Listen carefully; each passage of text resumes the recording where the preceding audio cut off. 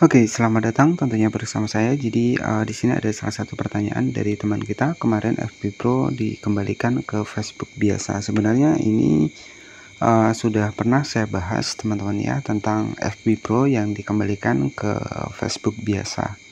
Ya, nah itu kenapa ya? Terkadang yang pertama adalah untuk akun kita ini terkena pelanggaran ya sehingga kita berinisiatif ya biasanya ya berinisiatif menonaktifkan Facebook profesional dan kembali ke Facebook yang biasa, artinya Facebook yang seperti biasa dengan followers yang mentok di teman mentok di 5000 ya. Jadi sebenarnya ini sudah saya bahas ya. Oke, kita masuk ke bagian Oke, nah di sini saya sudah masuk di bagian dari akun Facebook saya yang alhamdulillah ya walaupun saya jarang aktif untuk di Facebook tapi jangkauannya tetap bertahan ya jadi apa sih yang saya lakukan? Yang pertama saya berfokus pada satu niche konten. Artinya konten saya ini enggak campuran. Dan memang terbukti teman-teman bisa cek ya. Jadi walaupun saya enggak aktif ya di sini follow uh, pengikutnya masih bertambah dan juga untuk jangkauannya masih tetap bertahan ya. Jadi kuncinya yang paling sulit itu memang mempertahankan untuk jangkauan ya. Nah jadi seperti itu. Oke selanjutnya yang akan kita bahas apa sih dampak dari kita menonaktifkan Facebook biasa? Dan kita kembali ke uh, menonaktifkan Facebook profesional dan kita kembali ke Facebook yang biasa. Jadi ya ini sebenarnya sudah saya bahas di uh, video sebelumnya. Jadi saya juga pernah seperti itu teman-teman ya. Jadi uh, dulu ya waktu saya juga baru mulai di Facebook profesional saya juga pernah seperti itu di mana saya menonaktifkan untuk mode profesional kembali ke Facebook biasa. Nah itu biasanya terjadi karena ya teman-teman uh, merasa mungkin terkena pelanggaran. Yang pertama ya dengan niat uh, kembali ke Facebook biasa itu pelanggarannya hilang ya. Tetapi tentu tidak seperti itu. Walaupun kita kembali ke Facebook biasa yang namanya pelanggaran di Facebook ini yaitu memang sangat ketat sekali teman-teman. Itu pelanggaran tetap akan ada ya. Jadi kebanyakan seperti itu. Nah selanjutnya di sini apa sih dampak dari uh, kita menonaktifkan mode profesional dan kembali ke Facebook biasa. Yang pertama ya ini yang perlu teman-teman ketahui ya untuk menu pembayaran akan hilang. Ya menu pembayaran akan hilang yang pertama. Dan yang kedua fitur monetisasi yang sudah kita dapatkan di awal seperti fitur monetisasi bintang fitur monetisasi langganan ataupun bahkan fitur monetisasi yang lain itu akan ikut hilang teman-teman. Nah artinya Ya, untuk mendapatkan fitur monetisasi lagi, teman-teman itu harus ngulang lagi dari awal ya ataupun dari nol ya. Nah, kenapa? Ya karena kita sudah menonaktifkan untuk Facebook profesionalnya. Ya. Nah, kenapa saya tahu? Karena saya juga dulu pernah seperti itu ya di awal-awal saya baru paham di Facebook profesional. Jadi saya juga uh, seiring berjalannya waktu ya kemudian saya melakukan banyak riset termasuk ya konten-konten re-upload itu sudah saya lakukan semua teman-teman. Ya makanya ya untuk riset saya aja itu masih uh, saya bilang gagal ya. Uh, sehebat apa pun kita re-upload sejago apa pun kita re-upload nyatanya sampai sekarang itu masih terkena pelanggaran ya. Jadi seperti itu Nah, makanya ya dari uh, dari situ dari riset yang sudah saya uh, kerjakan dari beberapa akun saya mungkin teman-teman bisa cek video saya sebelumnya itu sudah saya perlihatkan semua akun saya dan itu saya melakukan sebuah riset semuanya teman-teman.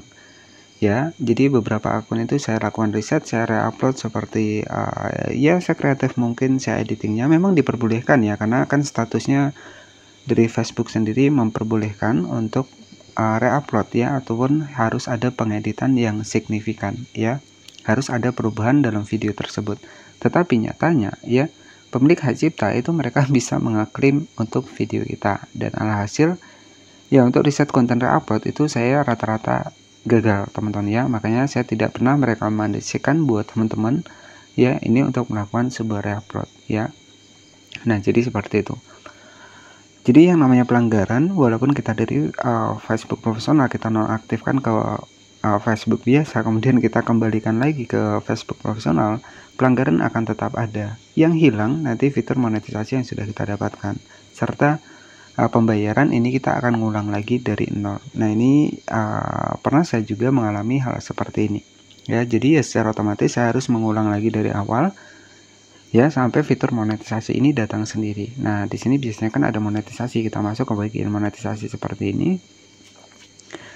Nah, di sini ya ada monetisasi bintang iklan stream langganan ya. Jadi kemarin kalau eh, teman-teman uh, ini dinonaktifkan dan juga kembali ke versi biasa, maka hasil untuk fitur monetisasi yang kita dapatkan ini akan hilang semua. Jadi kita akan ngulang dari awal lagi dan sampai kita nunggu lagi uh, fitur monetisasi ini datang sendiri uh, ataupun muncul sendiri. Jadi ya saran dari saya ketika teman-teman ingin menonaktifkan mode profesional dicari terlebih dahulu untuk dampaknya ya. Jadi apabila fitur monetisasinya hilang yaitu sangat disayangkan teman-teman. Bahkan kalau kita ke Facebook biasa itu sebenarnya uh, video kita itu tidak akan direkomendasikan lagi. Itu untuk yang pertama. Kemudian yang kedua adalah akun kita juga tidak akan direkomendasikan lagi kemudian juga pengikut kita itu akan mentok di 5000 pengikut saja ya. Jadi orang yang uh, nggak berteman sama kita itu akan susah menemukan akun kita. Bahkan akun kita itu tidak akan ditemukan di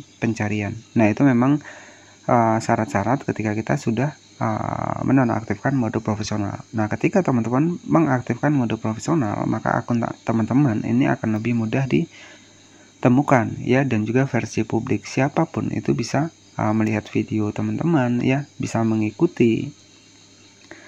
Dan juga untuk followersnya ini bisa uh, tak terbatas ataupun tak terhingga ya jadi seperti itu. Jadi sangat disayangkan sekali ketika teman-teman menonaktifkan mode profesional. Alhasil nanti fitur monetisasinya ini akan hilang semua ya. Jadi ya ini sebagai informasi saja buat teman-teman semua. Jadi saya juga sudah praktek ya dari praktek saya yang mungkin kesalahan saya di masa-masa lalu yaitu memang uh, saya berikan kepada teman-teman agar teman-teman tidak melakukan kesalahan yang sama termasuk reupload yang katanya aman. Ya itu kita nggak tahu teman-teman ya. Jadi ya amannya mungkin satu bulan dua bulan. Jadi teman-teman bisa berpikir adalah kita menjadi konten kreator ini untuk jangka panjang ya. Entah nanti ke depannya bisa dapat gajian ya misalkan dapat gajian uh, 2 juta lah sebulan. Itu kan sudah lumayan teman-teman ya. 2 juta sebulan dari Facebook ya. Apalagi ya ini kan bisa menjadi kerjaan sampingan. Kalau teman-teman ingin jangka panjang usahakan konten asli nggak masalah kita video biasa-biasa nggak ada intronya. Kemudian juga ya keseharian kita itu sebenarnya nggak masalah ya tetapi kembali lagi, kalau memang audiens kita agak kurang, ya kita harus menentukan ataupun topik konten yang memang banyak diminati. Ya, jadi seperti itu. Nah, jadi uh, dampak dari kita uh, menonaktifkan mode profesional dari Facebook Pro kembali ke mode biasa ataupun ke Facebook biasa, ya fitur monetisasinya akan hilang, menu pembayaran juga akan hilang dan kita harus mengulang dari awal lagi. Nah, itu sesuai dengan pengalaman saya. Dan semoga ini bisa menjadi informasi buat teman-teman terkhusus buat yang masih baru ataupun masih pemula dan buat teman-teman yang belum mendapatkan monetisasi semoga bisa cepat mendapatkan monetisasi. Yang belum mendapatkan penghasilan dari Facebook semoga cepat mendapatkan penghasilan dari Facebook ini. Ya inti intinya manfaatkanlah untuk smartphone kita untuk bisa mendapatkan penghasilan dan nanti untuk penghasilan nanti untuk penghasilan itu akan masuk di bagian pembayaran seperti ini. Nah di sini ada gambaran umum ada 15 dolar ya jadi seperti itu ya. Oke, jadi seperti itu saja yang bisa saya sampaikan. Semoga ini bisa menjadi uh, catatan buat teman-teman untuk ke depannya. Ya, Facebook ini memang benar-benar ya untuk aturannya ini memang benar-benar ketat ya kalau saya bilang ya. Jadi ya usahakan juga jangan berfokus pada satu platform saja. Teman-teman bisa berkembang di uh, platform yang lainnya. Oke, seperti itu. Dan mohon maaf jika ada salah-salah kata. Selamat malam dan wassalamualaikum warahmatullahi wabarakatuh.